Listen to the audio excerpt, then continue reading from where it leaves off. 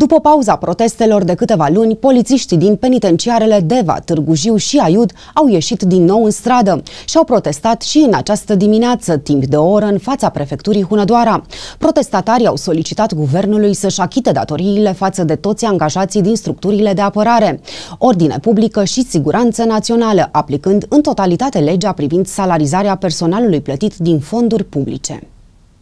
Ploaia nu i-a împiedicat pe angajații penitenciarelor din Deva, Târgu Jiu și Aiud să protesteze în fața prefecturii Hunedoara, instituție ce reprezintă guvernul în teritoriu. Cu vuvuzele și declarații antiguvernamentale, polițiștii din cele trei penitenciare au pichetat prefectura și au conturbat liniștea prefectului timp de o oră. Astăzi protestăm și vom protesta până când acest guvern va înțelege că sectorul de apărare nu e bagiocura acestei țări. De aceea vă rog să strigați jos, jos, jos, guvern mincinos, jos, jos, jos, guvern mincinos, jos, jos, jos, guvern mincinos, jos, jos, jos, guvern mincinos, jos, jos, jos, guvern mincinos.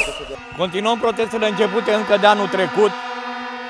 Am încetat acest lucru, le-am suspendat în ianuarie gândindu-ne că Guvernul României va înțelege că și pentru structura de apărare trebuie să aplice legea.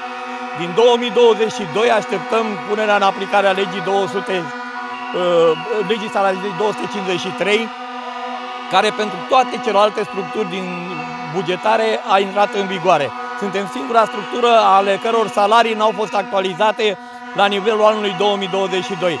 Și acum ne calculăm salariile după niște norme stabilite în 2009, un salariul de agent, de funcție pentru un agent de poliție penitenciară și toată structura de apărare e de 596 de lei. Și asta pe brut. Acum mi s-a spus că ni se dau ceva bănuți pentru grad. Lucru care nu ne ajută în niciun fel. Peste 30 de ani pensiile oamenilor astora vor fi de mizerie, pentru că guvernul României nu înțelege să aplice legea așa cum și-au aplicat-o lor. De la primul ministru până la ultimul om care conduce această țară. Protestatarii cer guvernului și deblocarea posturilor vacante pentru a reduce deficitul de personal, deficit din cauza căruia angajații din sistemul penitenciar lucrează peste program peste un milion de ore pe an. Acum nu facem decât să cerem punerea în aplicare în totalitatea legii. Nimic altceva. Nu cerem nici ca doctorii 20-30%, nu cerem nici ca magistrații care s-au umplut de bani pe spinarea noastră ce salarii au, dați-ne ce al nostru. Atât cerem Guvernului României. Tot astăzi au mai protestat polițiștii din penitenciarele Codlea și Giurgiu. Acțiunile sindicale vor continua până la sensibilizarea guvernanților. În caz contrar, angajații din penitenciare vor refuza să mai lucreze ore suplimentare, situație în care activitatea în unitățile de detenție ar putea fi mult afectată.